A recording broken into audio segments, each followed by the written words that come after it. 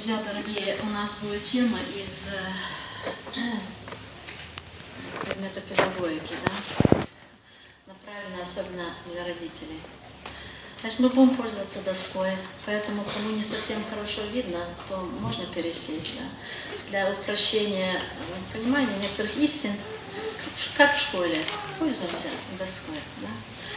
Друзья, вообще мы сегодня будем говорить о самом для нас всех дорогом, о самом близком, о самом трепетном, о самом драгоценном и незабываемом. Это о детях, о детях наших, друзья. Детей дает Господь, это большое благословение, но вместе с детьми Он дает поручение. Вот я прочитаю в начале два места из Слова Божия, а потом назову нашу тему. Места для нас очень знакомые, друзья. 1 Тимофея, 3 глава, 4 стих. Здесь речь об епископе, но это слово можно отнести ко всем родителям, и не только к отцам, но и к матерям тоже. Хорошо управляющий домом своим, детей, содержащих в послушании со всякой честностью. Еще одно слово, Ефесянам 6 глава, 4 э, стих. «И вы, отцы, не раздражайте детей ваших, но воспитывайте их в учении и наставление Господнем». Эти два места обращаются, можно сказать, больше к отцам, но мы сразу хотим сказать, что в равной степени они относятся к матерям. Э, значит, два повеления со стороны Господа – содержать детей в послушании. И другое повеление – не раздражайте детей ваших, то есть не раздражать детей. И тема наша будет называться так. Как содержать детей в послушании, не раздражая их. Друзья, это не всегда легко. Это не всегда легко. Бывают дети, даже подросшие особенно когда они становятся ну, умными, они вообще сообразительные, да, потом говорят отцу, а ты меня не раздражай, ты меня раздражаешь. Они же Слово Божье слышат с детства, да, и учатся делать ему применение. Вот. Или по-другому. То есть два повеления, как содержать детей в послушании. Нужно содержать их в послушании, но не раздражая их. Бог в свое творение, в человека, свое любимое творение вложил определенные принципы, следуя которым э, это ну, можно сказать, довольно-таки легко и просто. Но мы знаем, что есть враг души человеческой, который особенно направлен на детей, чтобы похитить, украсть, убить и погубить, да? который все делает для того, чтобы они не стали достоянием неба, не стали достоянием Божьим. А Господь хочет их спасения. Да? И Он поручил родителям приводить детей, приносить сначала, а потом приводить к Иисусу Христу. Это наша задача, это цель нашей жизни. На основании возрастных особенностей мы воспользуемся некоторыми значит, особенностями, характеристиками некоторых возрастов для того, чтобы посмотреть один принцип, который нам поможет как раз вот, ну, понять или усвоить, или утвердиться в том как раз э, направлении, о котором мы здесь говорим как научиться содержать детей в послушании, не раздражая их, чтобы когда они будут подрастать, они не становились своевольными, своенравными, чтобы они не становились бунтарями или дерзкими, да, но чтобы они любили, почитали родителей и хотели бы служить им. Э, ну, во-первых, родители слушаться, да, это будет лучше сказано, и служить Господу. Значит, друзья, я возьму микрофон в руки, чтобы это было удобнее. И мы сейчас обратим наше внимание на доску. Мы на доске нарисуем обыкновенную линию, которая будет означать возрастную линию. Вот так. Друзья, всем видно? Хорошо. И мы, пока мы ее разделили на два отрезка, да, Значит, возрастная линия, начало жизни. И здесь мы напишем примерно цифру 20. Имеется в виду э, тот возраст, когда дети становятся взрослыми и уходят в самостоятельную жизнь. Где-то это бывает раньше. Уехали в город учиться, в чужой город, да, в 16 лет или 17 или 18. То для кого-то это будет раньше, для кого-то это чуть позже. Но примерно имеется в виду тот возраст, когда родители отпускают своих детей в самостоятельную жизнь, и дети должны сами уже принимать правильное решение, иметь способность отвергать зло и избирать добро. Значит, здесь мы поставим цифру 13. Это конец детства, начало взрослости или так называемое начало так называемого подросткового возраста. Друзья, в еврейской культуре или в народе еврейском заложены все библейские принципы. Вот как Бог воспитывал евреев, да, так он, они ближе всего к тому, к своему Творцу, э, ближе всего евреи. И вот в еврейском народе в 13 лет мальчики становятся сынами закона то есть уже ответственными за исполнение закона. То есть они становятся уже взрослыми. И мы должны это знать. Детство, друзья, заканчивается для мальчиков в 13 лет, а для девочек у евреев в 12 лет. Примерно так, да.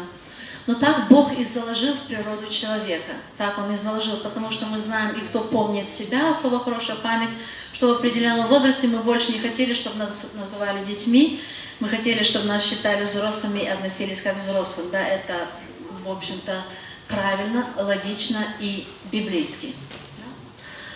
Хорошо, значит, мы сразу с самого начала исходим из того, что подростковый возраст – это не конец детства, э, а это начало взрослости. Мы это должны запомнить, потому что нам это поможет потом понять некоторые как бы эм, моменты. Но сначала мы будем говорить о более раннем детстве, друзья. Нас более всего интересует раннее детство, потому что многие ошибки подросткового возраста или трудности, или проблемы, они имеют свои корни или свою причину в раннем детстве. Значит, неправильное отношение к детям, неправильное воспитание, может быть, неправильное влияние, неправильное использование э, того, что Бог нам дает как родителям, оно обязательно а потом обворачивается какими-то последствиями. Да? И первая жатва нашего неправильного воспитания или каких-то ошибок, или чего-то того, что не должно было быть, первая жатва, вот она здесь, как правило. Вот, и поэтому бывают трудности. Друзья, значит, первое я пишу два года. Вот это младенчество, это ранний детский возраст. в этом возрасте Бог заложил как бы, ну, в природу человека, в душу человека очень-очень много возможностей. Это возраст, когда можно методом э, тренировки, даже своего рода дрессировки, научить детей очень многому. И самому важному, чему их нужно и можно научить в этом возрасте, это послушанию. Друзья, я здесь напишу, кто, может быть, пишет, я буду немножко сокращать, Понятно, послушание. Дорогие папы, и особенно дорогие мамы, учить детей послушанию нужно не тогда, когда им 4 года или 5 лет, или 7 лет, или еще хуже 13. Учить детей послушанию, прививать им навык послушания нужно вот в этом возрасте. И Бог для этого все дал но не методом убеждения, потому что умом ребенок в этом возрасте еще не понимает, он не умеет еще умом воспринимать истины, но именно метод, методом привычки и тренировки.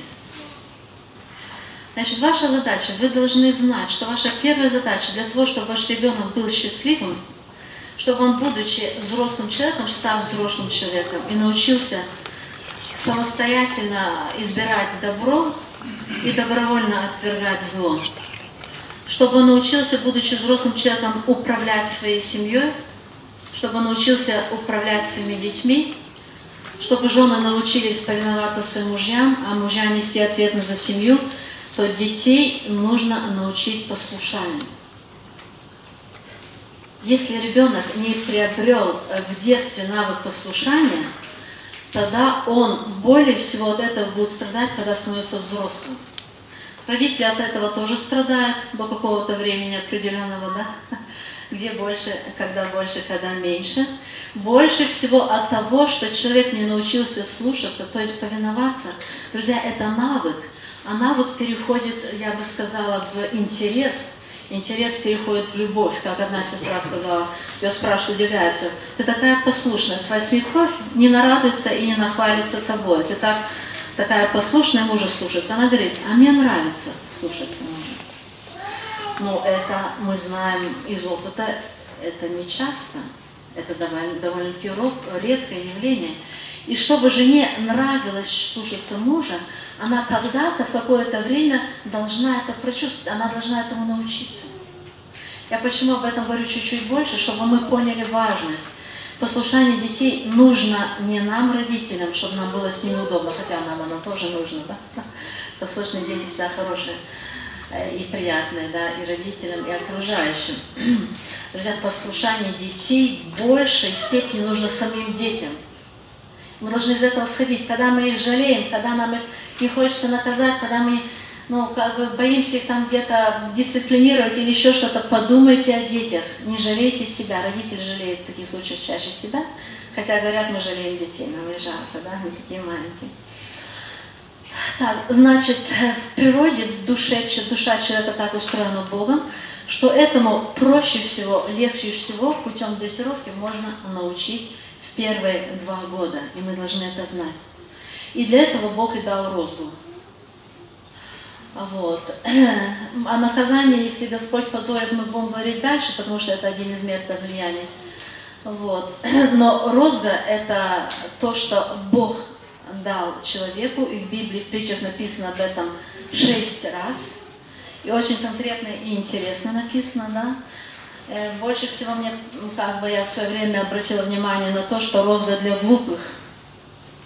Читали, да? Розга для глупых. Или глупость привязалась к сердцу юноши. Ну, кажется, юноша, где там юноша, да? А к нему глупость привязалась. Ну, в принципе, слово юноша в Библии не всегда означает возраст. Если читать другие переводы, тогда обращаешь внимание, что это больше указывается на пол. Ну, там можно в немецком это может быть слово «мальчик», да. Но не в этом дело. Даже если глупость привязалась к кому-то, то от нее исцелит исправительная розга. А глупые дети когда? В раннем детстве, да, когда они еще умом не понимают. Есть период, когда дети начинают понимать умом, да, и тогда мы обращаемся к ним, э, ну, как бы, и говорим, почему нельзя, можно и так далее, да. Но вот эти два года, этот возраст, это не тот возраст. Это возраст, э, я еще раз повторяю, когда мы э, даем, ну, ребенка так воспитывать, чтобы он просто в себе развил такой навык методом тренировки и дрессировки. Но для этого нужно как бы приложить усилия. Чтобы нам это было понятно, я использую один пример, который тем, кто постарше, будет очень ясен. Через несколько лет, может быть, лет с 10, этот пример уже нельзя будет больше приводить. Сейчас объясню почему. Но он довольно-таки яркий. Люди постарше, которые воспитывали детей, в то время, когда не было памперсов, помнят. И те, которые, может, тогда были детьми и приходилось за младшим ухаживать, помнят, что вся семья следила за тем, чтобы приучить ребенку к чему? Горшку. Самое элементарное, да? Чтобы научить его а, проситься, да, как-то заявить о своем желании. И вся семья в этом участвовала. Это просто было даже интересно, даже интересно. Потому что никто не хотел, чтобы было мокрое пятно на диване, или на ковре, ну, на паласе имеется в виду, или на юбке, или на брюках, да. И поэтому ребенку еще иногда было, не было годика, он не, не умел ходить часто, ну, дети разные, да, а на горшок проситься уже умел, да. И сам ходил, некоторые дети сами ходили, некоторые. То есть с этим проблем не было. Все ставили сюда, себе задачу приучить, ребенка приучали, и это получалось. Получалось или нет? Да.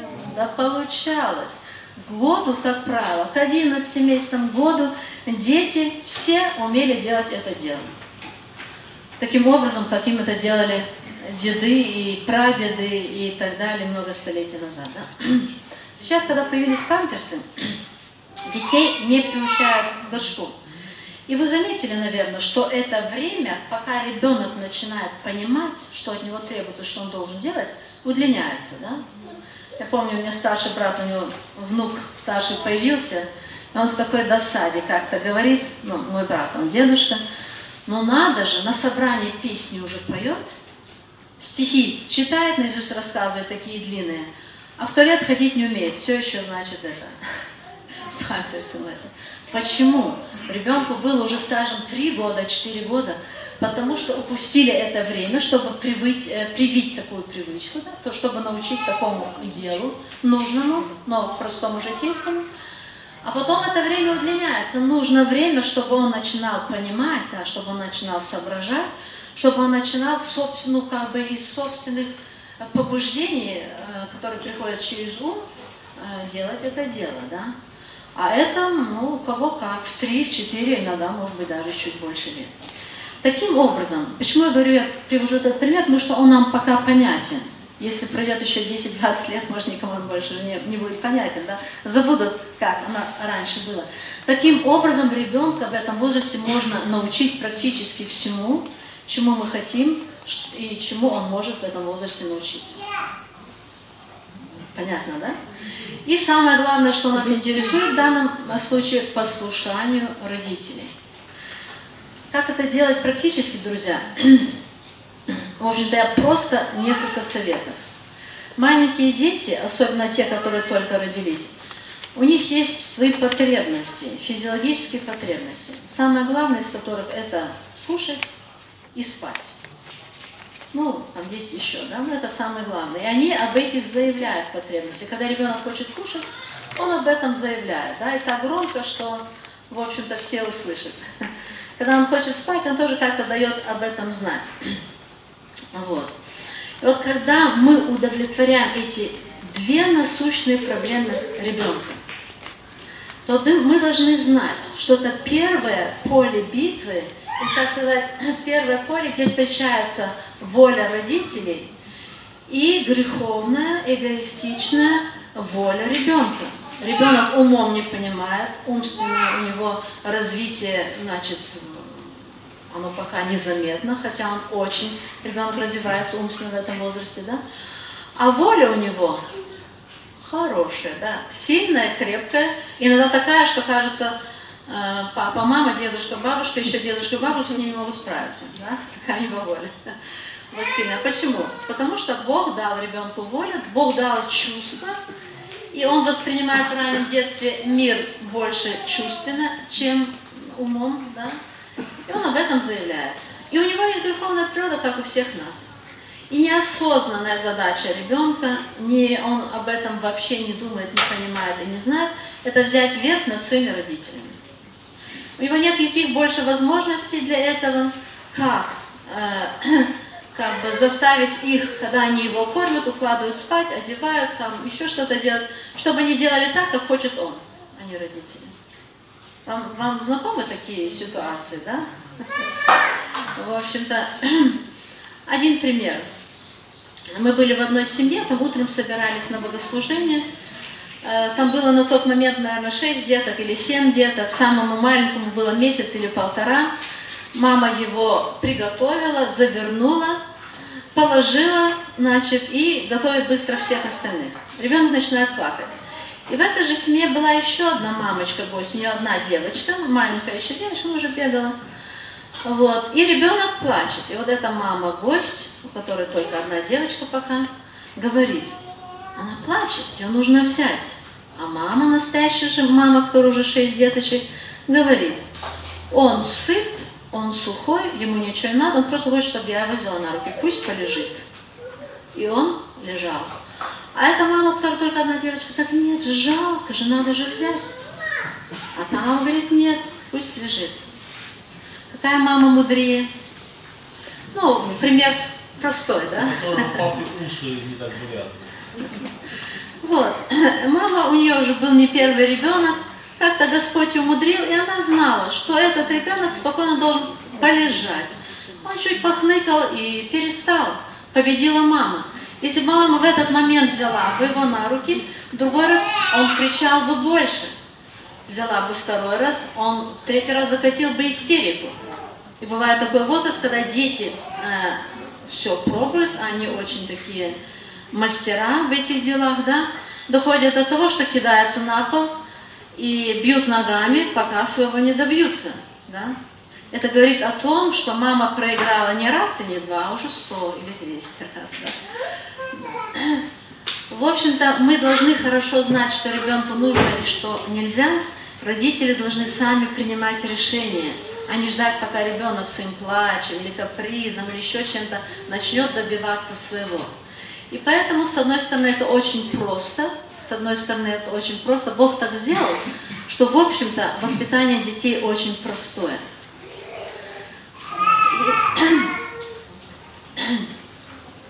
Девочка, дай мне воды, пожалуйста.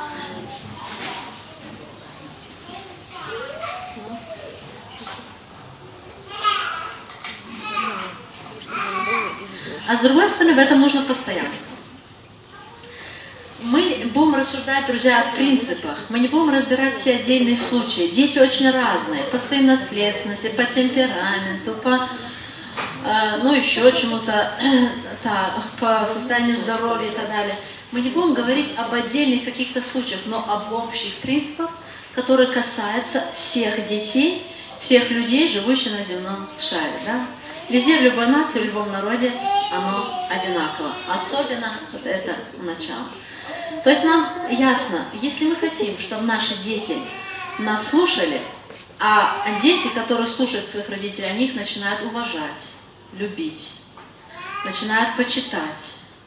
Дети, которые своих родителей не слушают, им очень трудно уважать и почитать своих родителей. Понимаете, в чем еще большая беда, да? Для того, чтобы почитать родителей, дети должны его, их слушаться.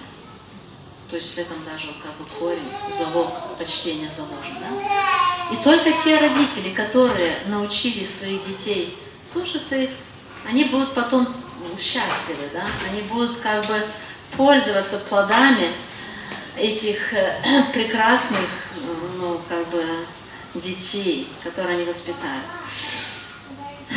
Не надо никогда терпеть непослушание ребенка. Вот говорят такое, даже маленьких детей не надо терпеть их непослушание, их капризы и так далее. Это, конечно, хорошо, что воспевается материнское терпение. Это правильно, что матери столько терпения Бог дал, потому что есть много таких моментов, когда нужно терпеть. Но не надо все терпеть. Не надо терпеть баловство, не надо терпеть непослушание, не надо терпеть капризы. Никаких негативов терпеть не нужно. Это неправильно. Это неправильно. От них нужно детей освобождать. И в этом вы будете проявлять к ним свою любовь. Когда мама все терпит, когда дети ходят на головах, и мама заставляет э, как бы маму делать все, что не хотят, и ну, разные можно приводить примеры. Это не терпение, друзья. Это просто слабохарактерность. Слабохарактерность. Легче вот так пустить на самотек, легче пусть делают, что хотят, лишь бы мне не мешали и так далее. Друзья, это большая ошибка, но мы пойдем потихонечку дальше. Значит, три года. Три года. Этот фломастер не очень хочет писать. Даже три не хочет написать. Но мы себе представим, что там написано цифра три. Три года, друзья. Первые три года – это тот возраст, когда в детях нужно воспитывать доверие. Вот доверие как база основания личности в душе ребенка воспитывается в раннем детстве. Доверие к родителям, доверие к окружающим, доверие э, членам церкви, значит, э, к пресвитеру и так далее. Оно все свое начало имеет здесь. Когда дети вырастают, иногда смотришь, ну, на детском, разные же дети. Что-то рассказываешь, что-то говоришь, какие-то вопросы задаешь. Некоторые дети, знаете, ну, как цветочки – только немножко солнышко почувствовали, сразу распускаются, да, прям, прям на виду, да, как в этой камере ускоренной. Раз, и расцвели, и улыбаются. Вот это чистое детство. А есть дети, так, насупились, голову вниз, глаза вниз, и смотрят вот так немножко, как бы, ну, что сейчас будет, чего от нас хотят, стоит ли сказать да или не стоит. Нет доверия, да. Детям некоторым, ну, по-всякому, 7 лет, 8 лет. Думаешь, почему? Почему они вот так, как маленькие вот такие зверяточки, в себя вот так ушли свою скорлупку, да, спрятались или как там черепаха в свою скорлупку спряталась, и только чуть-чуть выглядывают. И нужно много усилия, чтобы их оттуда вот так выманить. Там одно рассказал что-то, чуть-чуть оттаяли, чуть-чуть глазки показали, открыли, да, а потом что-то другое сразу опять раз и закрылись. Таким детям, которые не научились вот этому доверию, в раннем детстве, которые не испытывали в семье вот эту радость от того, что ребенок появился в этой семье, эту радость, что его любят, что он нужный, да, что он любимый, что он солнышко, и как его еще называют, и что его даже и наказывает из любви, да, что его дисциплинирует. Вот это в раннем детстве все. Доверие. Друзья, здесь нужно постараться. Здесь нужно приложить усилия. И время-то нужно вот здесь детям как бы посвящать.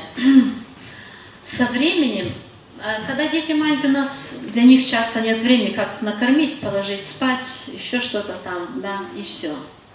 А потом, когда они становятся старше, начинаются проблемы, мы, хочешь не хочешь, должны находить для них время.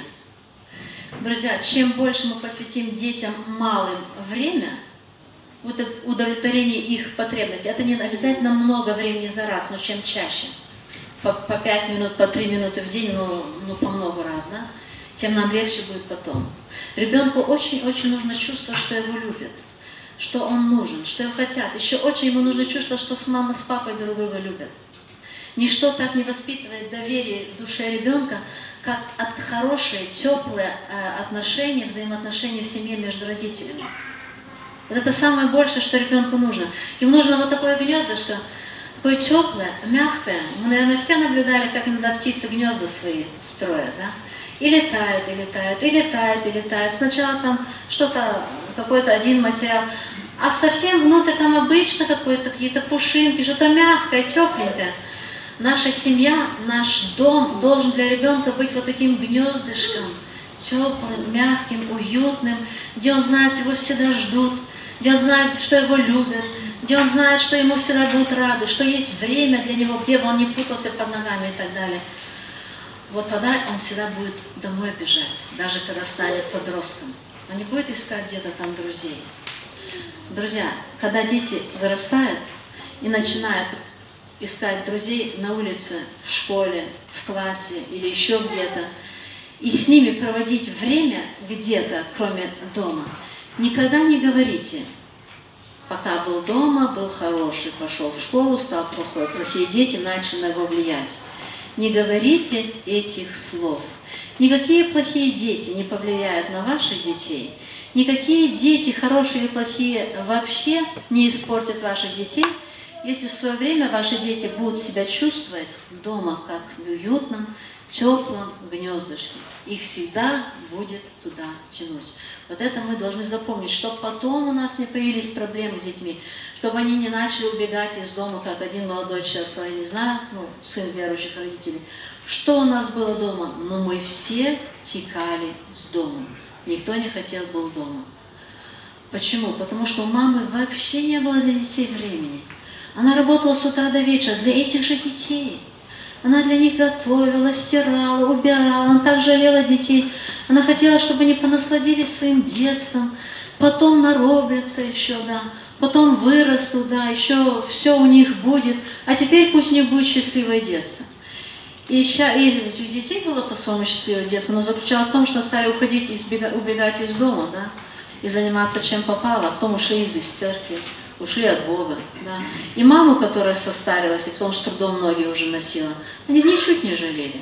Потому что они привыкли, мама всегда все делала да, для них за них. Для них это норма, да, неправильное воспитание.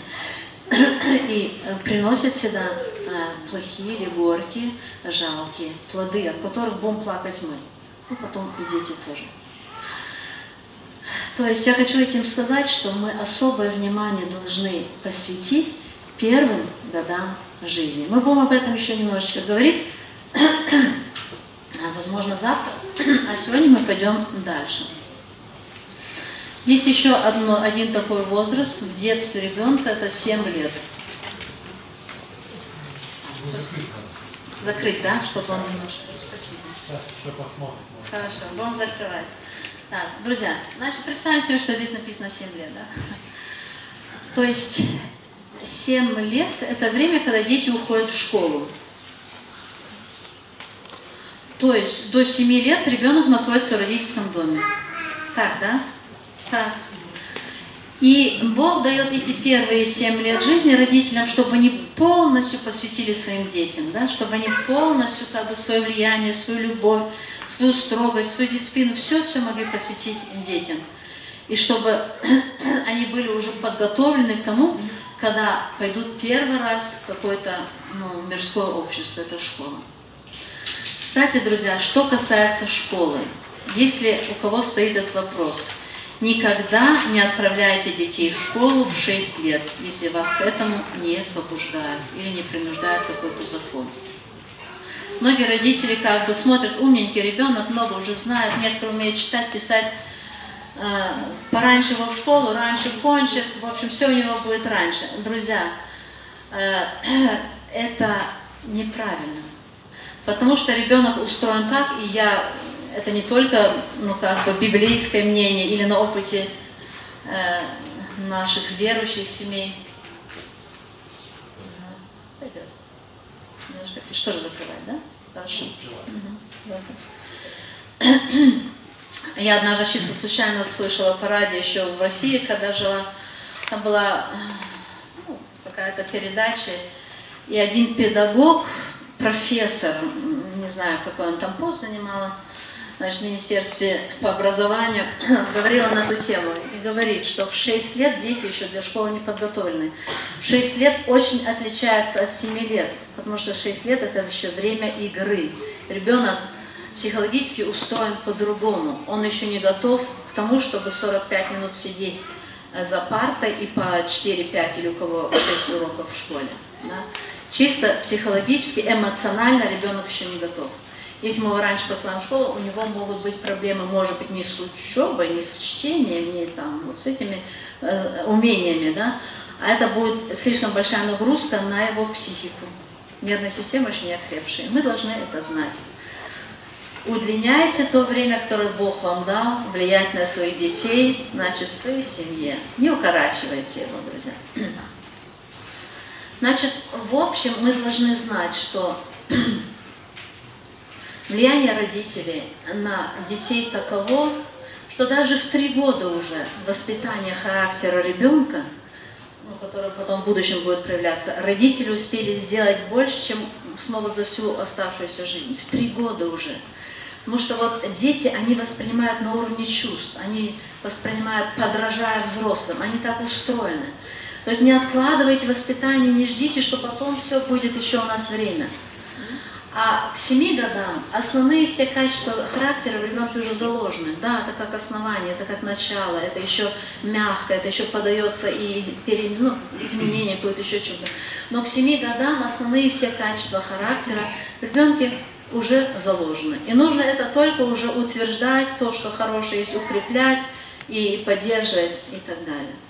Вот это время до 7 лет, это то время, когда в душе ребенка формируются ценности –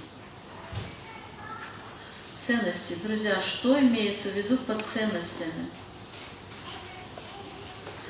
То есть это то, что для ребенка на всю жизнь останется как бы тем, чему он будет следовать. Например, я здесь внизу напишу, друзья, чтобы оно немножко было перед нашими глазами, и оно легче запомнится.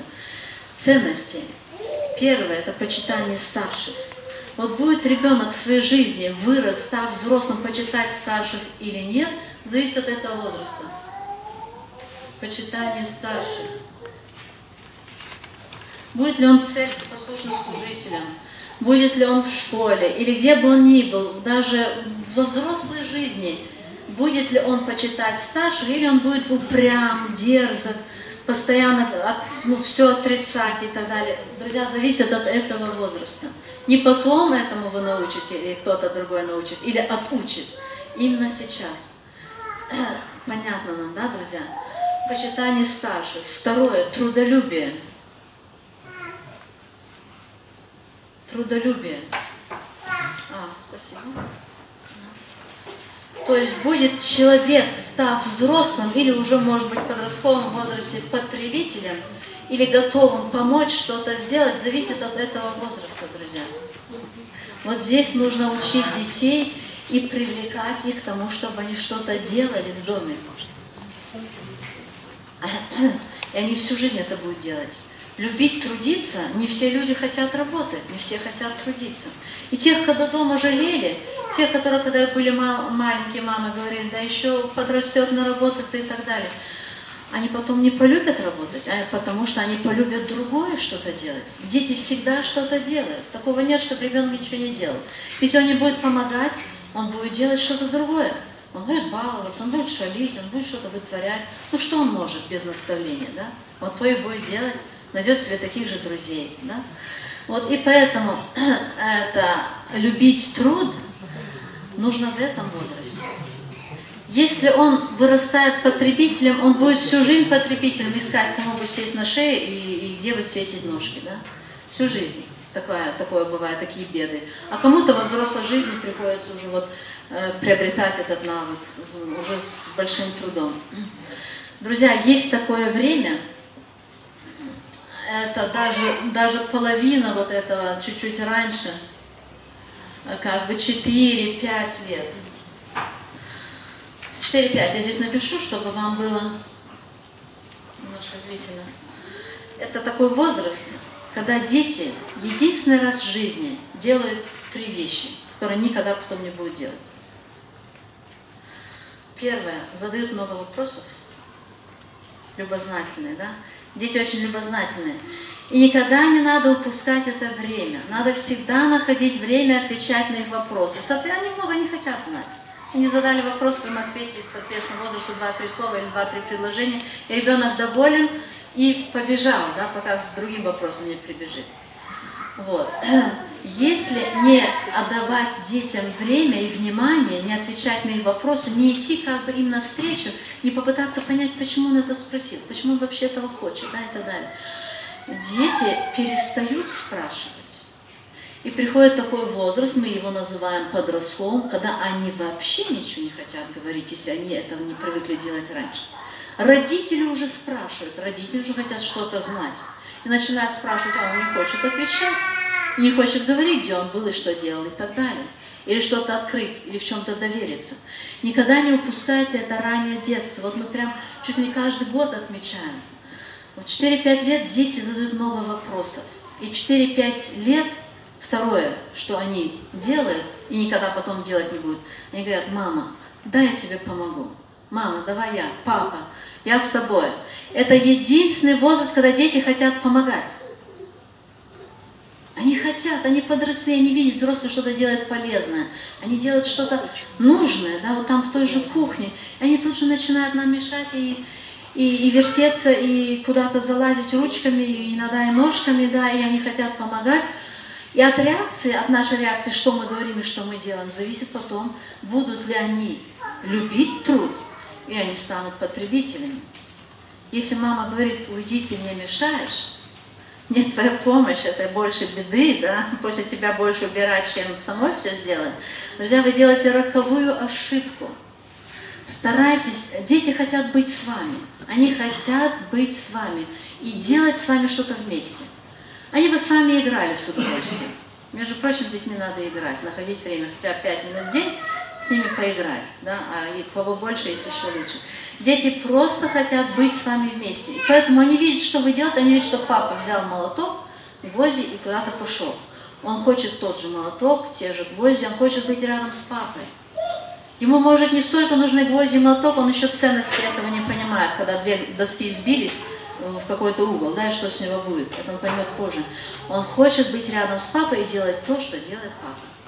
И папа должен приложить максимум усилий, чтобы как можно чаще дети, чаще дети были рядом с ним и делали то, что он делает. Если нет возможности молотка или еще чего-то, находите время. Не жалейте делать с детьми что-то вместе. Это время пройдет очень быстро. Не научили их что-то делать вместе с вами, да? не научили их ну, любить труд, не научили их работать, они найдут себе занятия. Дети всегда чем-то занимаются. Да. Они найдут все занятия, и они это занятие пустое, ненужное, иногда вредное полюбят. И будут им заниматься, когда вырастут. И еще одно в этом возрасте, что есть у детей и никогда больше не будет, это стопроцентно сильная, крепкая детская вера. Дети верят всему, что им говорят родители. Особенно если вот это доверие, если это доверие, о котором мы говорили, да, если оно укрепилось, укрепляется каждый день и созидается, и умножается, и так далее. Дети верят всему, они так устроены. Они не умеют логически мыслить, это придет позже, гораздо более позднем возрасте. Они не умеют анализировать, они не умеют делать выводы. Они хотят, они любят и они умеют всему верить.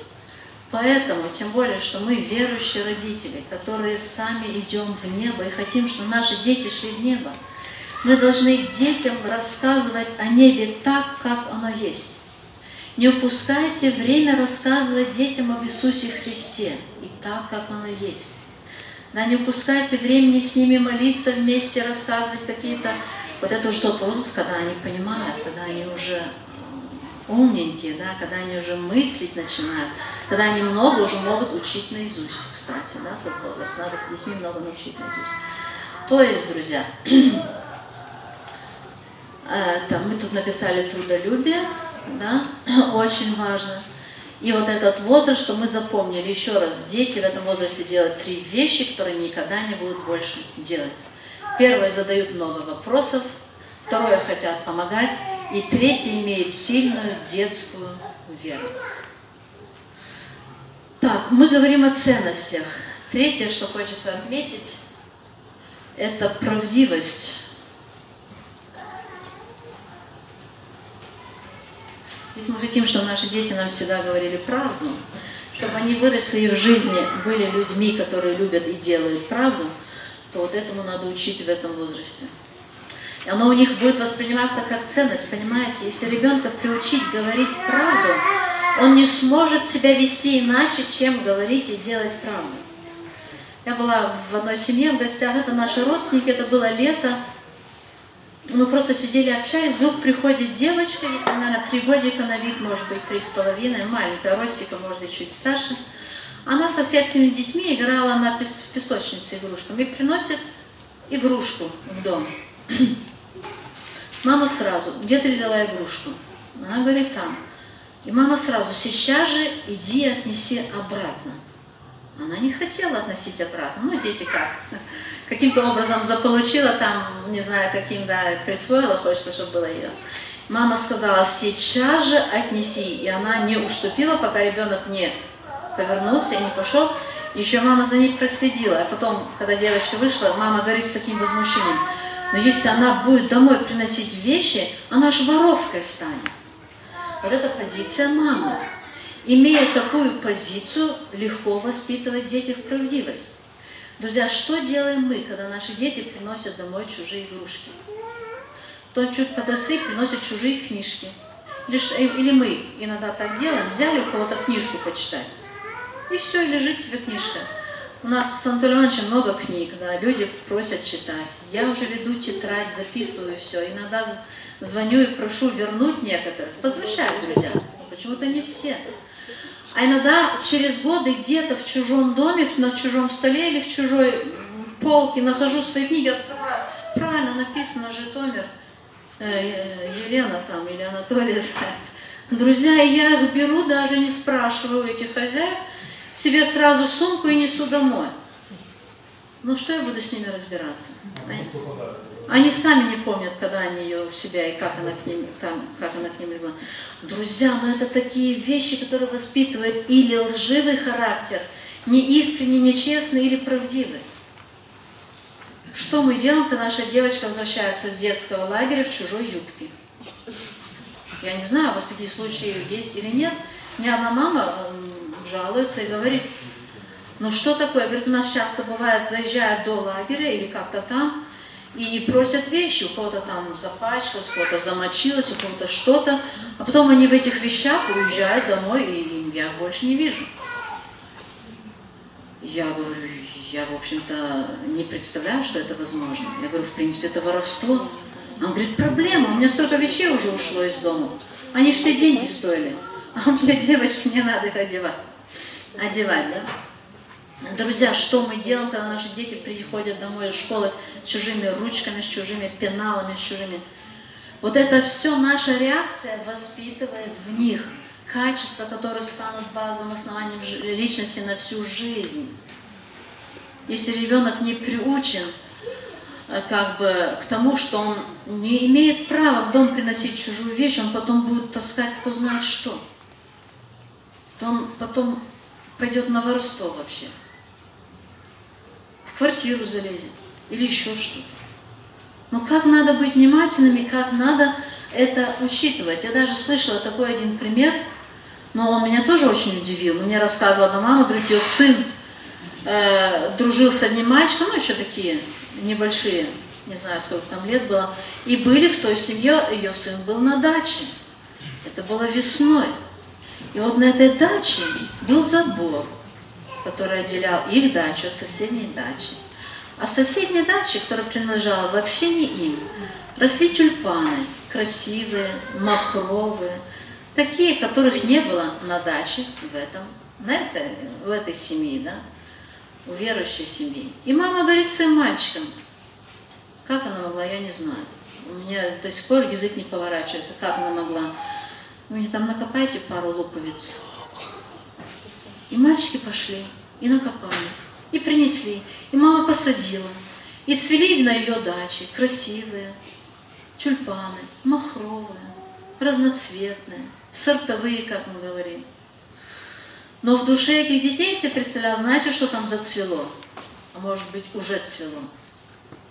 Непредсказуемо. Это же потенциальные воры – вот тот мальчик приехал домой, своей маме рассказал вот так и так и так. Мама схватилась, это за голову. А та мама, наверное, не знаю, за голову схватится, когда вот уже вот э, сыну там дадут три года или пять лет или еще сколько, и будут сумка ездить места не столь отдаленные. Мы, когда дети маленькие, так мало обращаем внимание на такие мелочи. Эта правдивость должна быть в нас, да, тогда нам легко будете воспитывать. Но иногда у нас не хватает мудрости, друзья. Так, это мы говорим о ценности. Следующее. Значит, церковь. Будут дети любить церковь и все, что связано с церковью. Бога, э, членов церкви, служителей, молодежь, хор, оркестр, все, что бы они делали, зависит от того, как мы это им привьем. Или они будут любить все земное. Если родители любят земное, у них на первом месте земное. Они это привьют своим детям, что бы они ни говорили, сколько бы на собрании ходили, как бы с детьми не занимались, чтобы молодежные руководители не говорили, и служители, и пресвитер. Вот оно, если в раннем возрасте заложено, что для меня мирское, или вот такое наш, скажем, там дом, наш быт, наши отпуска, наш э, досуг, все наша мебель, и все дороже, чем церковь и служение в церкви, и служение, посвящение Богу, дети, как правило, вырастают такими же. Как правило. И потом будут проводить общение и говорить 10 и 20 проповедей, пока у кого-то поменяется мышление. Мышление вот теперь, оно вот так формируется. А его очень трудно менять, когда человек вырастает, становится взрослым. Очень трудно. Потому что, чтобы поменять то, что вот сейчас тут вложилось, нужно не, не несколько лет, как, извините, с нашим первым примером, да, а нужно вообще, чтобы ему стало уже чуть ли под 30, когда человек начинает способен что-то вот переосмысливать настолько, чтобы отвергать то, что он привык делать всегда. И не всегда, и не у всех это получается. Сюда относится и Слово Божье, и Библия. Понятно нам, друзья, да? Вот в этом возрасте формируются ценности в душе ребенка. И что он будет любить потом, будучи подростком, будет ли он в подростковом возрасте заниматься изучением Библии, или он будет, извините, шляться по подворотням с какими-то э, друзьями, искать приключения, зависит не от 13 лет, и не от э, каких-то там 10, и не от воспитателя воскресной школы, и не от служителя, друзья, а зависит от родителей в том возрасте, когда дети еще дома, и они еще не в школе когда еще никто на них особо не сумел повлиять и их испортить. Да? Но я еще раз повторю, мы должны это запомнить, потому что это важно. Наших детей никто никогда не испортит. Бывают исключения, мы говорим о правилах.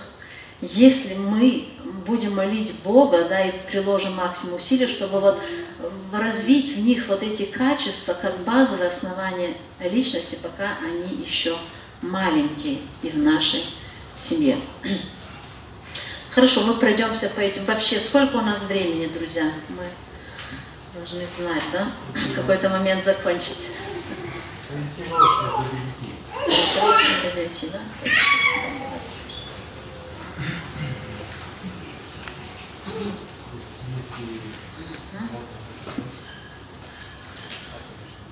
От 7 лет до 12 лет это время, когда в детях развиваются творческие способности. Они пошли в школу, они стали много узнавать, познавать, но это знание, творчество – это немножечко другое. Бог Творец, и Он вложил в душу человека тоже такое желание, стремление что-то творить, что-то делать. И когда мы говорим о творчестве, естественно, мы имеем в виду и музыкальные способности, и, может быть, какие-то художественные способности. Друзья, но это не все. Это далеко не все. Детей нужно научить в этом возрасте, чтобы они полюбили что-то сделать, получить результат этого труда, и чтобы оно их радовало и радовало других. Вот это прививается в этом возрасте, друзья. Значит, 7-12 лет, то есть это уже как бы вершина детства, это уже такой возраст, когда дети ну, как бы меньше болеют, у них больше энергии, силы, они намного способны и так далее. Кто-то мне недавно рассказал такую историю, а, вспомнила, одна сестра в детском лагере. Она ведет кружок, мягкую игрушку, и ей говорят – Галя, ты, наверное, шить умеешь. Она говорит, терпеть не могу. Я к швейной машинке вообще не подхожу. Потому что в детстве было такое время, говорит, моя мама шила, и я тоже захотела.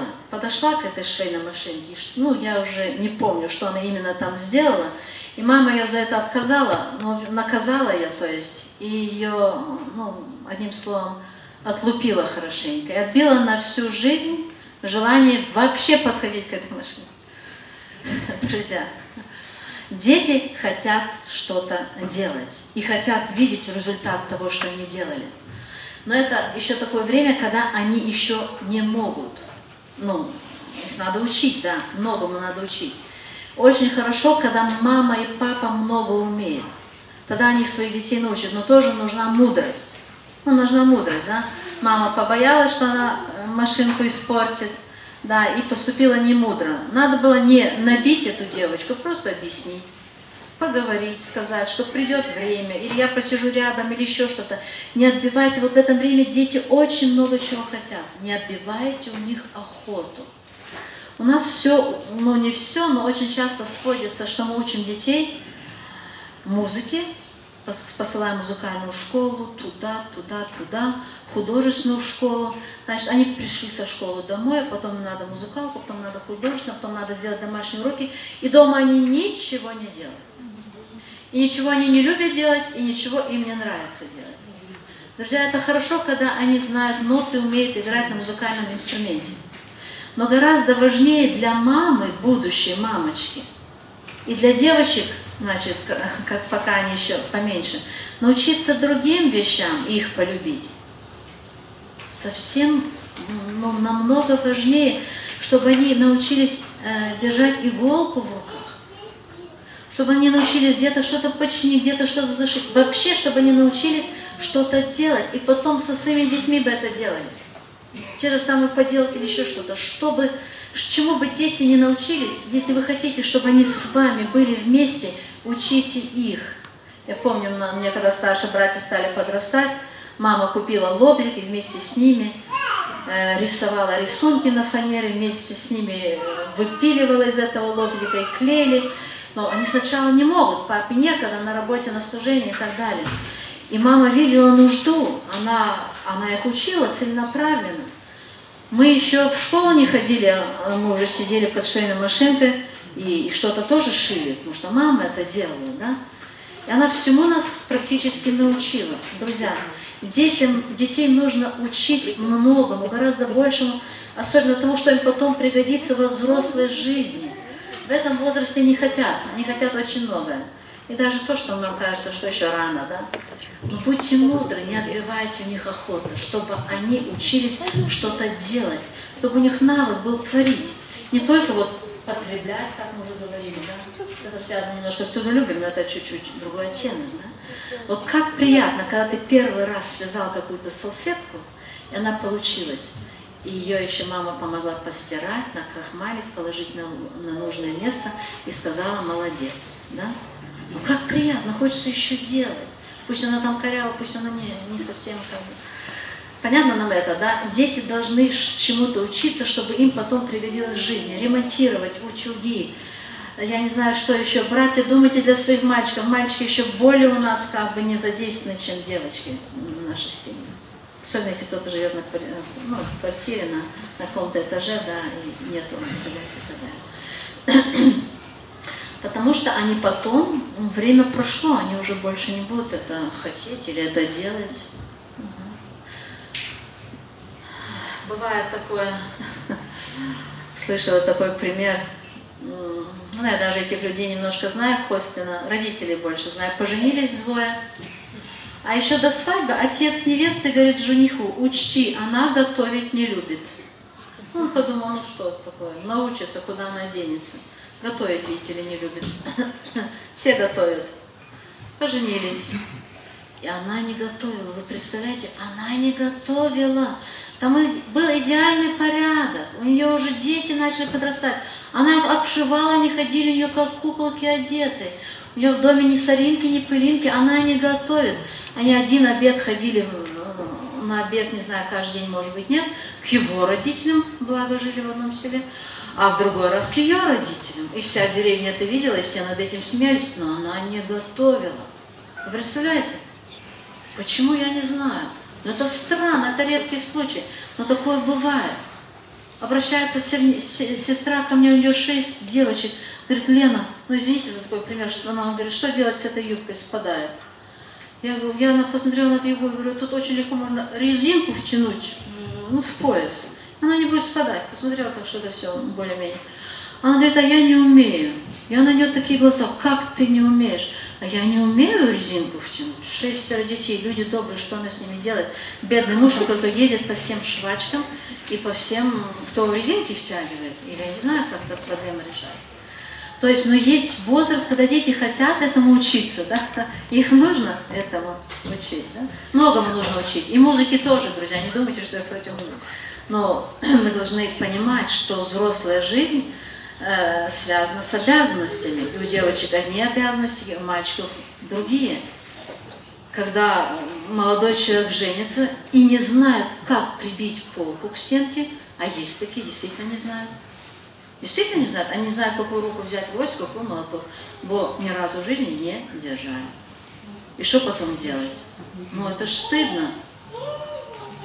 А он ну, жениться хотел, да. А все остальное думал, что приложится, да. А потом какие-то проблемы.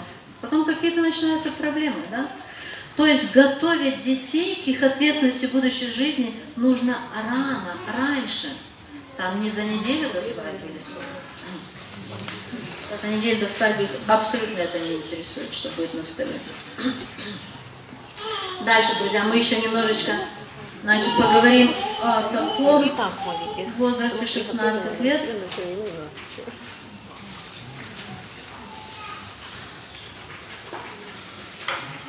Это тот возраст, который мы еще называем подростковым, начало взрослости – в этом возрасте детям прививается чувство долга. Не все может, могут прочитать, да?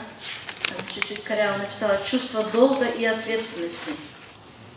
Бывает, люди, им что не поручи, они все выполнят. Они еще переспросят, как сделать, да? Они еще позвонят и скажут, сделали или как сделали еще что-то. А бывает такое, что не поручи, не уверен, сделать или не сделать, надо всегда подстраховать. Мы, мы же говорим так, да, уже видно по человеку, что, и говорим, такой у него характер, да, безответственный человек, ничего доверить нельзя. Вот это тот возраст, когда ребенку прививается чувство долгой ответственности. Раньше трудно привить, они заняты детскими делами, друзья. Детство, оно для того, чтобы оно было детством. Да? Не удлиняйте детство, но и не укорачивайте. В общем-то, есть как бы такие две крайности. Но когда уже началась э, взрослая пора, первое, чему нужно ребенка научить или подростка, чтобы он имел вот это чувство долга, ответственности, чтобы на него можно было положиться и так далее. Позже, если примерно в этом возрасте не научили этому, позже очень трудно люди этому учатся, очень трудно. Почему? Друзья, мы должны понимать силу привычки. Значит, все черты характера – это устоявшаяся привычка. Да? И мы должны понимать силу привычки. Если она устоялась, чтобы потом изменить эту привычку, например, человек безответственный, чтобы потом стал ответственным, ему нужно проделать двойную работу. Есть время, когда ему нужно только научиться ответственности, а потом ему нужно как бы научиться отвергать безответственности, ну как бы ее ну, возненавидеть или не, не хотеть быть таким и так далее. Это целый процесс. Отложить, как э, мы иногда читаем в Библии такое слово, да? А потом научиться. Это двойная работа ответственности. И человек уже должен много приложить усилий, если он как бы будет это делать, будучи более старшим. А чаще всего не получается, что нет особого желания. Жил так и хорошо был. Папа все решал, папа там все доставлял, да, мама все делала. А мне было тоже хорошо. И все. Ну, жизнь разная, да, жизнь тоже учит, и Бог учит тоже. Так, мировоззрение. Это от 16 до 20 лет. Мировоззрение. Мировоззрение. То есть как базовое основание личности, или как черта характера, но это не совсем черта характера, да? Мировоззрение, то есть как, и в первую очередь то, что нас интересует, будет ли уже юноша да, в этом возрасте, признавать Бога за Творца, Спасителя, или он будет считать, что какие-то там другие идеи правильные. Это зависит от этого возраста. Не раньше, а позже тоже уже трудно. То есть именно в этом возрасте, это так называемая ранняя юность, формируется мировоззрение человека – если кто-то покаялся, это возможно, пережить возрождение в раннем возрасте, даже в детстве. Если кто-то стал членом церкви, даже в подростковом возрасте, то все равно у него еще не, ну, не укрепилась и не утвердилась вот эта его позиция, отношение, э, ну, вот, как мы и говорили, да? как мировоззрение, оно у него еще не утвердилось. И мы не должны как бы удивляться, если потом дети или подростки впадают в какие-то проблемы. Мы должны знать, что если кто-то стал членом церкви до этого возраста, что надо с ним много работать, уделять внимание э, и стараться не быть преткновением, не быть соблазном, для того, чтобы у них не пошатнулась вера, которая есть, и они не оставили Бога. Наверное, такого правила у нас никогда в церквах не будет, но я бы даже сказала, что наши членские в таком раннем возрасте детей приглашать не полезно, если наши членские не проходят 100% в духе единства, любви, понимания, созидания. Потому что это может подорвать веру, это может пошатнуть значит, э, ну, вообще их христианскую жизнь всю. Они могут настолько разочароваться и соблазниться, что уйти в мир. Но для нас это важно с той точки зрения, чтобы мы обращали на это внимание, не думали, если он принял крещение, как может быть кто-то в 30 лет, да, или 25, или там еще в каком-то возрасте, и там все уже точно твердо, да, один раз все пережито, пере, борьба прошла полностью, это уже как бы, ну, ну не сдвинешь так быстро с места, то здесь хрупко, да, здесь э, еще зыбко. Здесь нужна работа. Хорошо, друзья. Мы теперь еще, пользуясь временем, немножко расширим нашу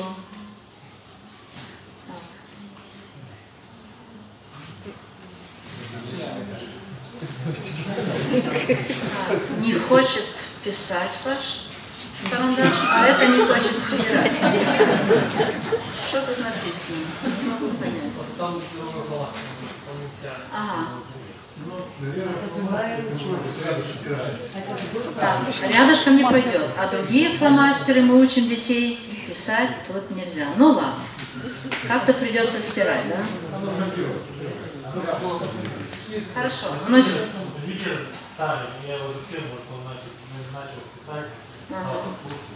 Попутно такая пауза, вопрос. Значит, 13 лет, начало взрослости, и прозвучало, как у цыган.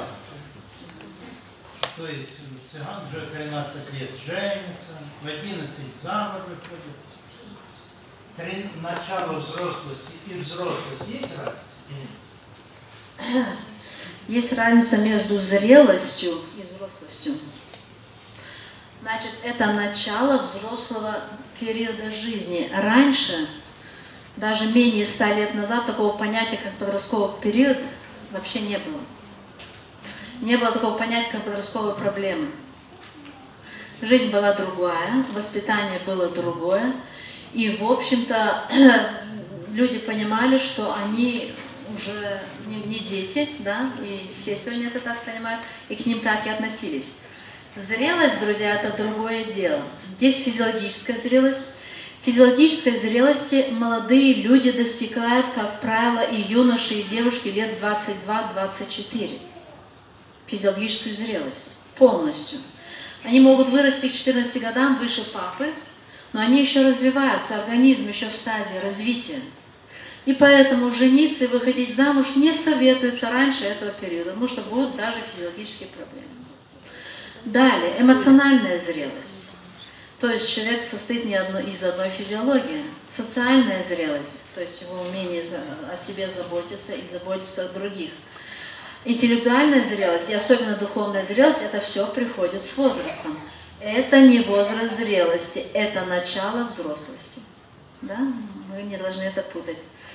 Зрелость приходит с годами, физиологическая, эмоциональная тоже связана с возрастом, но не совсем. Да, бывают взрослые, которые не умеют себя вести и держать в руках, управлять, владеть духом своим в 30, и в 40, и в 50 лет. Да? Это эмоционально незрелые люди, даже если ему 60 лет, он выходит из себя и начинает э, там, говорить непотребно и так далее, то есть не владеет духом своим, эмоциями, своими чувствами. Эмоционально незрелый человек. Да? С возрастом это не так сильно связано, как физиологическая зрелость. Ну, интеллектуальная зрелость – это тоже, друзья, знание – это еще не мудрость. Зрелость – это обязательно мудрость, да. Недавно вы, может, тоже получили газету «Веришь ли ты?» Там вот это как раз написано спереди. Информация – это еще не знание, знание еще не мудрость. Да? Поэтому даже физиологическая зрелость выходит за рамки этой нашей. Так, но это еще не все, что я хотела нарисовать. Не очень хочет, да? Друзья, тогда мы включим свое воображение и будем себе представлять. Ну хорошо, раз вы все равно будете спиртом стирать то, что там уже написано, то мы еще кое-что здесь нарисуем. Да? Это мы все оставим на завтра, потому что это завтра нам тоже все будет нужно. Так вы обратили внимание, да, что я нарисовала еще два прямоугольника, они здесь разделены пополам, так, потому что у нас граница, возрастная граница. Эти прямоугольники разделила линией. Здесь снизу вверх, а там сверху вниз. Всем видно, да? Так, теперь я буду говорить коротко, что я имею в виду. Вообще вот этот э, прямоугольник, эти два прямоугольника, об этом будем рассуждать завтра. Сегодня мы сделаем вступление, чтобы у нас было общее представление, о чем вообще речь. Вот в этом верхнем прямоугольнике э, если он будет писать, мы напишем такое слово «власть родителей». А, Что там дальше, я потом скажу, потому что... А здесь внизу влияние родителей.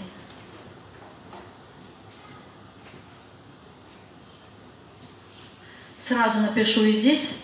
Друзья, здесь тоже влияние родителей. Родителей. А здесь, в этом треугольничке, власть. Я напишу ребенка, хоть он еще не ребенок, но это условно ребенок подрастающий. Да? У нас в Слове Божьем есть такое место одно, как-то обратила на него внимание, мне оно понравилось. Думаю, это как раз то, о чем здесь речь. Это Титу, вторая глава, 15 стих. Титу 2.15. «Сие говори, увещевай и обличай со всякую властью, чтобы никто не пренебрегал тебя». Вот здесь это слово «власть», это слово апостола Павла к Титу, но это слово можно отнести ко всем родителям. Значит, говорить, увещевать и обличать нужно со всякую властью.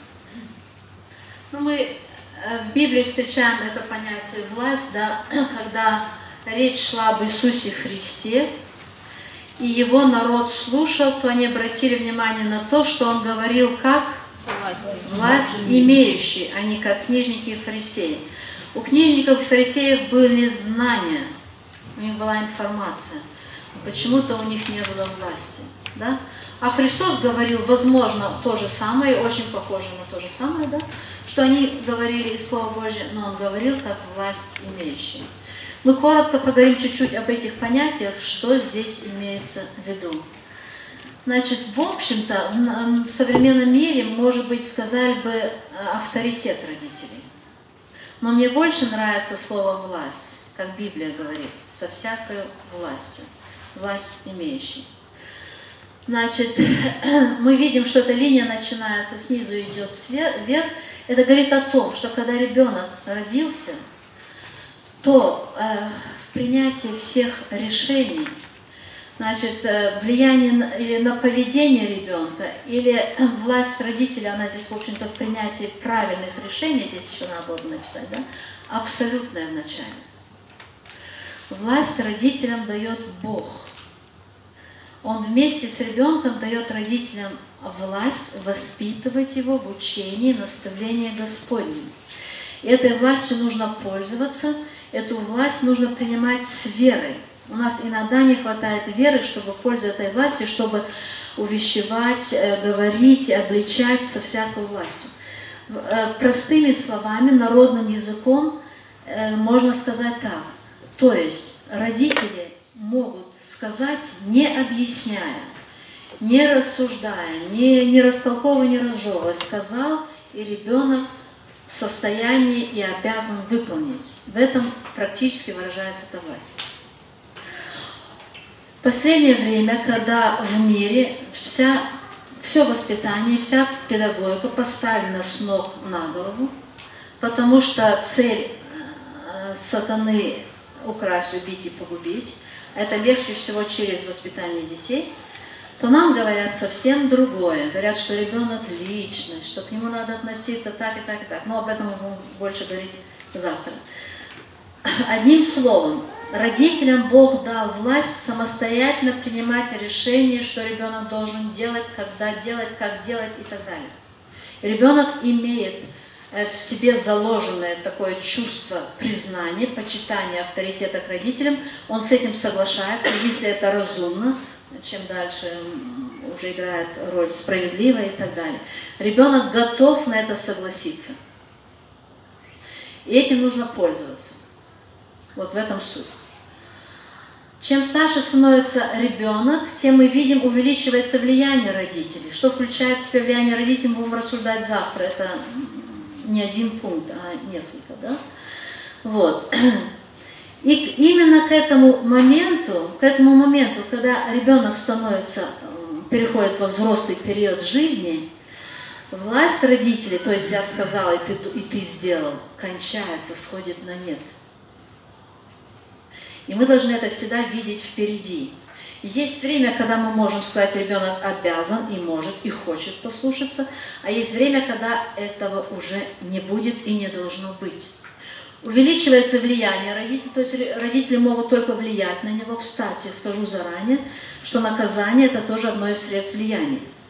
Часто считают, что наказывать – это утверждать свою власть. Нет, нет, наказание мы только влияем на, на, на детей. Да?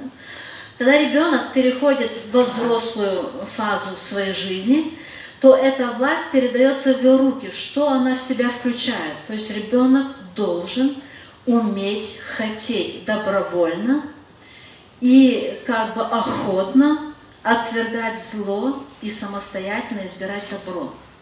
Когда детям по 14-15 лет и ими любой может манипулировать, это говорит о том, что воспитание было неправильным, каким-то недостаточным, или что-то было не так. Бог так сотворил человека, что он способен в этом возрасте уже противостоять плохому влиянию, искушениям и избирать добро и идти за этим добром. И чем, да, чем старше он становится, и вот тут как раз мы опять видим, что это как бы когда он покидает родительский дом, то в идеале ребенок должен быть способен стопроцентно владеть собой и принимать правильное решение. Потому что он ушел из родительского дома. Родители уже не могут на него даже повлиять так, как бы они. Влияние родителей становится все меньше и меньше и меньше. Человек уходит во взрослую жизнь, его нужно подготовить. Цель воспитания – это не дать детям просто счастливое детство – чтобы они радовались и были довольны. Цель воспитания – подготовить детей к взрослой жизни, к ответственности взрослой жизни, к, серьезному, к серьезной жизни, да? И подготовить детей э, к встрече с Богом. Обязательно, потому что они не смогут прожить свою взрослую жизнь без Бога хорошо и правильно. Вот.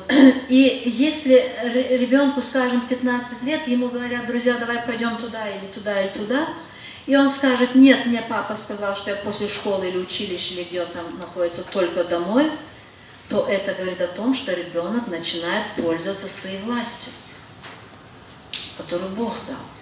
Но к этому его надо привести.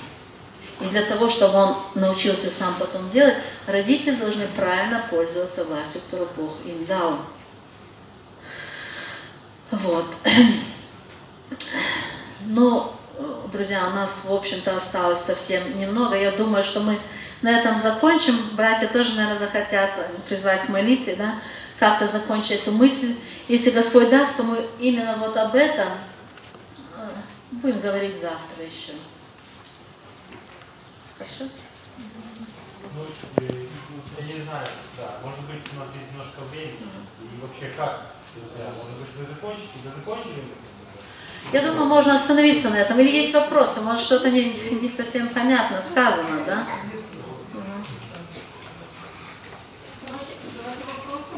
Да, можно. А если будет ребенку 9 лет, и он самостоятельно хочет читать Библию, но надо его там как-то ну, поощрять, там, ну, как это, нормально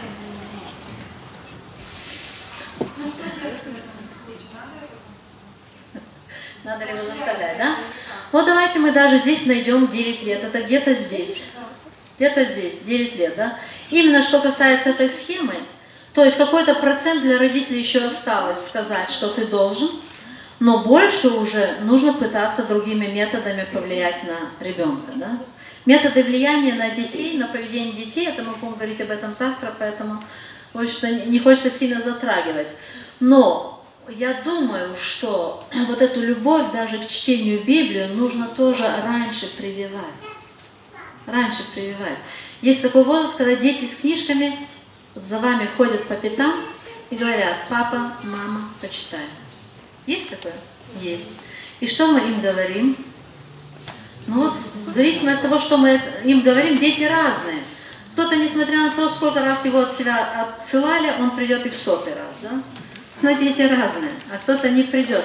То есть мы как раз должны иметь в виду, и об этом была речь, чтобы когда у ребенка есть исключения, из всех правил есть исключения, мы об этом не говорим, да?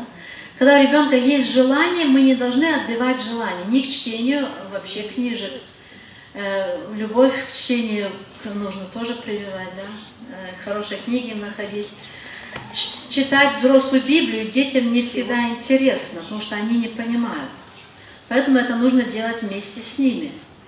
Если это делается дома регулярно или хотя бы почти регулярно, да, и для детей интересно, то ну, редко бывают дети, которые отвергают. Тогда там уже другая причина, то надо этим заниматься отдельно, особенно. И, ну, вообще, нужно объяснять, нужно садиться рядом, нужно, вот что вам, это вам по воскресной школе читать? Или там, еще не знаю по какому плану, давай вместе почитаем. Нет, вот просто план, ну, детский план. Детский план, по плану, да? Почитайте вместе с ним. Потому что сейчас вопрос стоит, что делать, да? У нас уже проблема появилась. Найдите время, чтобы читать вместе с ним. Находите там интересные места. На что стоит обратить внимание, чтобы это был не просто текст, да. Потому что, ну, так теперь и нужно, да. Потому что, как сказать, ну, к самостоятельности дети тоже ходят в, в разных э, вопросах по-разному, да. Вот. Нужно обратить на это внимание. Детям Понимаете, друзья, мы мыслим не словами и не строчками, мы мыслим образами. И некоторым детям из этих слов, почему интересно книжки с картинками? Потому что сразу, ага, увидел, образ сложился, запечатлелся в мозгу, и приходит понимание того, что она есть.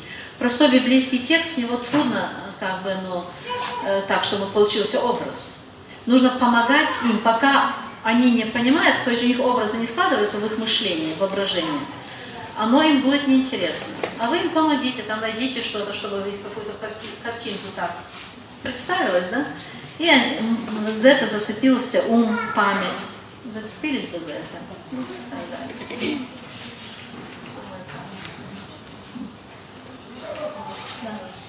Да. Пример. Чувство долга, ну, уже пример, когда оно есть, да, или как его развивать? Или как? Да, как его развивать? Как его развивать, чувство долга? Думаю, когда детям, когда они начинают ходить, им 2-3 года, им надо уже давать задания. Вот эти ботиночки, дорогой, должны стоять вот здесь, и нигде в другом месте. И они такие, они с игрушками уже играть могут, они могут уже разобрать целую машинку, собрать, правда, не могут, но разобрать могут. Да? То есть они могут эти ботиночки поставить. Давать им конкретно определенные задания. Покушали, вот у вас, пожалуйста, что у вас осталось на, на столе? Ложка, может быть чашка, может быть ну, тарелка. Говорите детям, чтобы они это сами уносили со стола э, в мойку. Мама не должна все делать. Хороший организатор не тот, кто сам все делает, а у кого все работают хорошо, да? Находите своим детям работу. Вот, и постоянно, например, чуть дальше, только в школу пошли или даже в собрание пошли. Вот у нас есть платье для собрания, а есть одежда для дома. Переоделись, одежда для собрания должна сразу попасть в шкаф. И может это и четырехлетний, и пятилетний, если его приучить. Может. Не хотят, правда, да? Наша задача приучить. И, и, а приучить можно всякими методами. И так далее. Чем больше возрастают, чем больше на них воскладывают, ну, возлагается ответственность, и таким образом у них там надо где-то их похвалить и поощрить. Ну, в общем, как всегда, как всегда, да? Чтобы это, чтобы они хотели это делать. Само чувство, понимаете, ответственности. Дети еще слишком маленькие, чтобы они что-то делали из чувства долга. Убрать те же игрушки в 3, в 5, 4, они не из чувства долга будут делать, а из послушания. Вот послушание научили, из послушания они будут их убирать. А потом у них появится понимание, что я должен дома что-то делать. Я должен маме, папе помогать. Я не должен быть ну, таким потребителем или труднем, или как хотите их там учите, да? А я должен быть полезным. И вот это сознание долга, оно не прививается раньше, оно прививается потом. А тут, пожалуйста, значит, э, из послушания. Тут работает вот это. Да? Чувство долга – это примерно поменяет слово «должен». Да. Слово должен. Ты должен вот это сделать. Ты должен, должна вот это сделать. Обязанность. Да, да. Чувство ответственности, обязанности, долга. Но долг это чувство обязанности. Да, да. Оно может понятнее обязанности, да? Но даже из любви. А, Когда мне- я была в пятом классе, значит, мне было 12 лет. У меня есть брат на два года старше, ему, значит, было 14 лет. Моя мама, наша мама попала в больницу.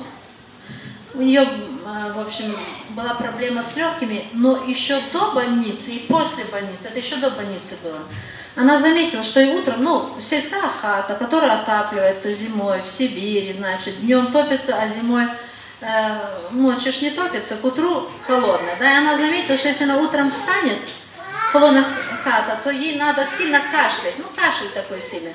А папа на работу ходил пол пятого, каждый день без выходных работали. Вот она жизнь иногда заставляла детей как-то к чему-то привлекать, да. Тоже было жалко, но потом благодарили жизнь и родители все. И мой брат, ему было 14 лет или около этого, он утром вставал сам, его никто не просил, не говорил, сам топил печку, чтобы когда мама встанет, было в хате тепло. Потом он брал свой портфель и шел в школу. Его, его никто не просил. Он так, мы вообще очень любили маму свою, мы ради того, что мама лишний раз улыбнулась, были готовы сделать все, да, ну, как дети, как дети, да. Вот он это, он у нас много очень чего делал. И, конечно, мама это помнила до, до конца своих дней, как вот этот ее сын, подросток, вот такую любовь к ней проявил, проявлял. да. И всегда помогала. Сколько родителей жили, всегда помогал. То есть это тут и не только долг, тут и, и другие чувства включаются, да? И любовь, и желание помочь, и ну, мне, да? много детей. И малыши, можно э, доверять детям, которые более постарше дети, возлагать на них, что они не читали. ну. Конечно, можно. Ну, что если вместо, ну, помогать, заменяли как бы маму. Можно и нужно. Можно и нужно. Те, которые старше, это опять-таки и воспитание старших, и на пользу младшим.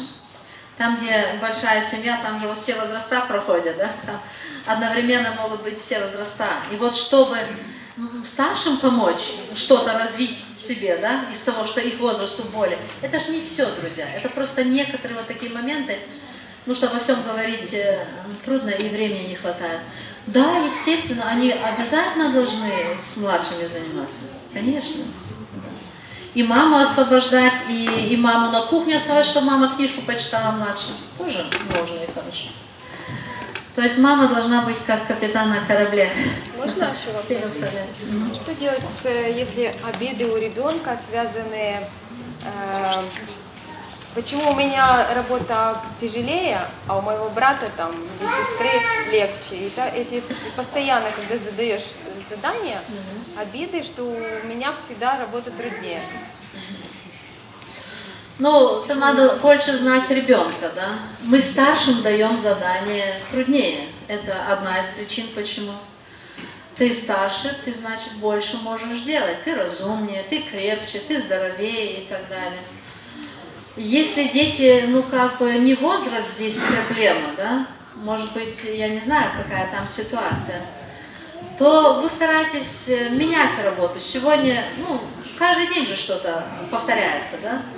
Сегодня дали тому это, а завтра наоборот, еще как-то. Старайтесь в этом быть мудрыми, да? Постоянная обида, там должна быть другая причина. Там причина не в работе, там что-то какая-то, может быть, вот эта неудовлетворенность в чувстве любви, или что ребенок считает, что его не понимает, или еще что-то. Он не может это сказать, он сам не знает, что у него живет там внутри. И он как может, так выражает. Вот работа подвернулась, вот он за работу сказал, да. Вообще надо бы немножко разобраться, что у него там, может там другая совсем причина. Ну, обида на что-то другое. да. А так старайтесь менять. Хорошо, когда в доме есть дежурство, когда есть старшие. Очень хорошо посильный детский труд передавать в их, чуть не сказала, владение, чтобы там был ответственный, чтобы он распоряжался, кто сегодня, ох, они будут, будут работать, распоряжаться. Лучше вас, да, да. Только надо, чтобы, конечно, не слышались. Как можно больше передавать ответственность в их руки, им это нравится, да, вот уже еще в детстве. И вот вы отвечаете за уборку комнат, например, там три девочки. Вот это будет старше, или эту неделю, эту, следующую неделю, та, ну как хотите, вас, вы лучше знаете своих детей условия. И сделайте из их обязанностей, ну, чтобы это было им в удовольствие. При детям труд бывает нелегко, особенно когда упущено в то время, когда они хотели, да? Старайтесь, чтобы это было для них радостью, удовольствием, чтобы они увидели какой-то результат, плод, чтобы было какое-то поощрение. Это Вообще. А почему бы и нет? Поощ- Поощрение это тоже цел- целое искусство. Не- можно так поощрять детей, что ни одной копейки не потратить. Да. Я хочу рассказать одну историю правильно. Я Хорошо, просто, для меня до сих пор загадка. Служитель приехал в одну семью, рассказывает мне лично, дети так вокруг него бегают, бегают, одна девочка стоит, моет посуду, так на него смотрит, ей тоже там хочется, он говорит, а что ты, говорит, Говорит, вы понимаете, мне мама сказала, если я буду послушной, она мне разрешит помыть посуду. И вот она быстро моет. Вот она была послушная, мама ей разрешила помыть посуду. Вот это как поощрение.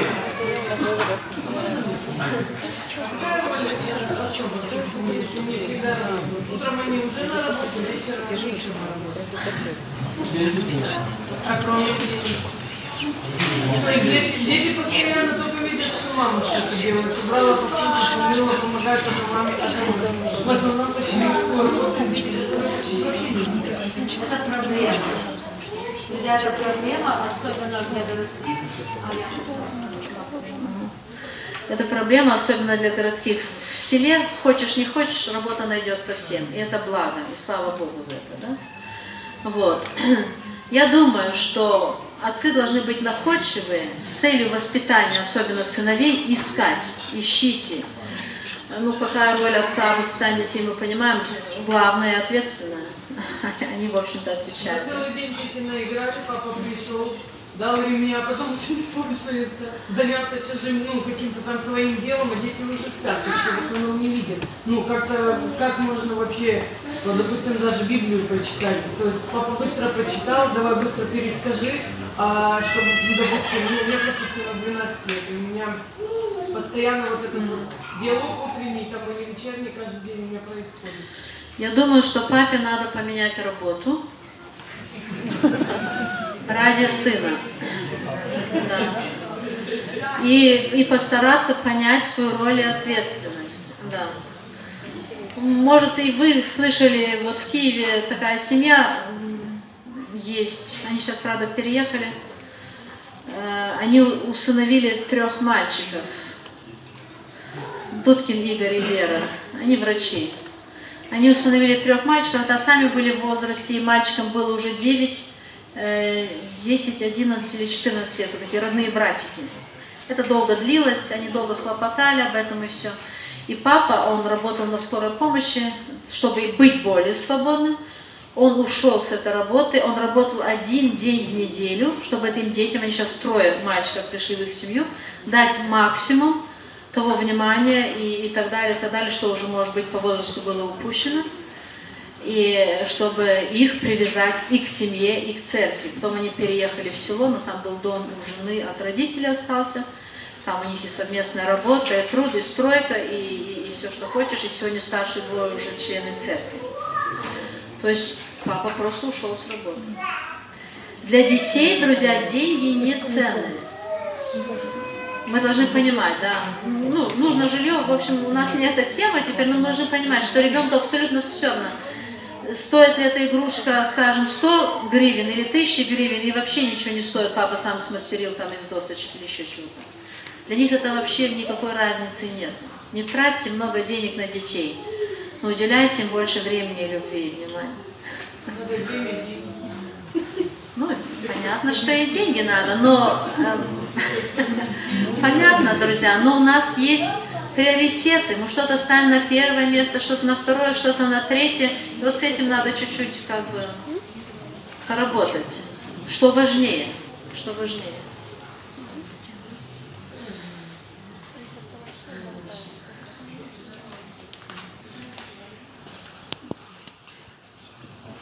Друзья, я предлагаю, чтобы мы вместе с вами в заключении помолились Богу. Вы знаете, я сижу, смотрю